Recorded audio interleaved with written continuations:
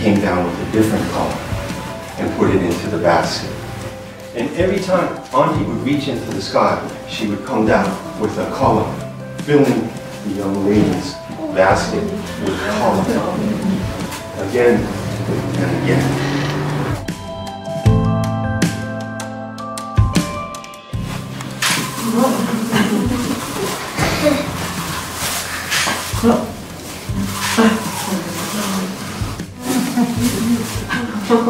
You see, Auntie had a lot to talk about.